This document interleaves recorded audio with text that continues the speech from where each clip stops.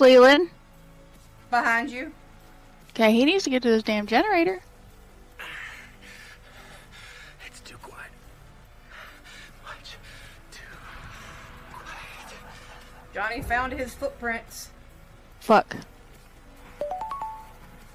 Been collected since 2016. I got you. Leland should have done the generator. He's stronger. Yeah, he should have. But he's not even over by the door waiting to unlock it. He's just. It's unlocked. Oh, okay. I've already locked picked this shit. Get out of my way, Leland. Bitch. Fucking- he threw the door open and it threw Leland on the ground. Didn't mean to. That's the funniest shit I've ever seen. Well, he wasn't helping me.